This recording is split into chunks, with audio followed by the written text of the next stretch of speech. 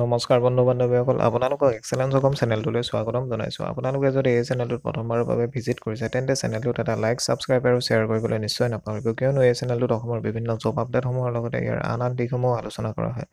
আজি আমি কথা পাতিম গুৱাহাটী হাইকোৰ্টত ওলোৱা প্ৰায় ছটামান পষ্টৰ বিষয়ে আৰু সেই পষ্টসমূহ আপোনালোকৰ আছে L D assistant L O' A তাৰপিছত টাইপিষ্ট এণ্ড কম্পিউটাৰ টাইপিষ্ট আৰু সেই পষ্টসমূহ আপোনালোকৰ এনেধৰণৰ ইয়াৰে প্ৰথম বস্তু হৈছে L D L D assistant typist নাম্বাৰৰ পষ্ট পাঁচটা নলবাৰীত ওলাইছে আপোনালোকৰ চাৰিটা যোৰহাটত এটা আৰু কম্পিউটাৰ টাইপিষ্টৰ পষ্ট আছে এটা যোৰহাটতে আছে সেইটো অকল আৰু দৰমহা ভালেখিনি দিছে চৈধ্য হাজাৰৰ পৰা ঊনপঞ্চাছ হাজাৰ educational qualification L D A L D assistant typist মানে প্ৰথম পষ্টটোৰ যোগ্যতাসমূহ হৈছে গ্ৰেজুৱেট হ'ব লাগিব তাৰপিছত তেওঁৰ কম্পিউটাৰ নলেজ থাকিব লাগিব আৰু আছামিছত মানে অফিচিয়েল অফিচিয়েল লেংগুৱেজত আছামিজ তেওঁৰ জনা হ'ব লাগিব। আৰু কম্পিউটাৰ টাইপিষ্টৰ কাৰণে সেইকে গ্ৰেজুৱেট হ'ব লাগিব আৰু কম্পিউটাৰ ডিপ্ল'মা চাৰ্টিফিকেট থাকিব লাগিব এম এছ অফিচত সেইখন গভ বা প্ৰাইভেট যিকোনো ইনষ্টিটিউশ্যনৰ পৰা হ'লেও হ'ব।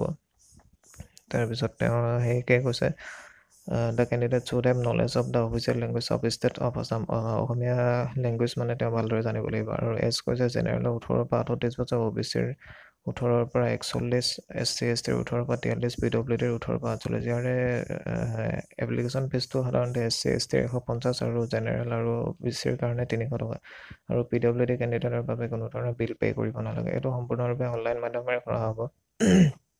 আৰু আমাৰ ডিছক্ৰিপশ্যনত ইয়াৰ এডভাৰটাইজমেণ্ট ডিটেইলছ আৰু যেতিয়া এপ্লাই অনলাইন লিংকটো মুকলি কৰিব সেই তাৰ লগে লগে আমাৰ চেনেলটোৰ জৰিয়তে আপোনালোকে অনলাইন মাধ্যমেৰে এপ্লাই কৰিব পাৰিব। চ' এইখিনি আছিলে গুৱাহাটী হাইকোৰ্টত ওলোৱা প্ৰায় ছটা পোষ্টৰ এক থুলমূল আভাস। চ' আগলৈ লগ পোৱাৰ আশাৰে আজিলৈ অনুষ্ঠানটি সামৰিছোঁ। ধন্যবাদ। জয়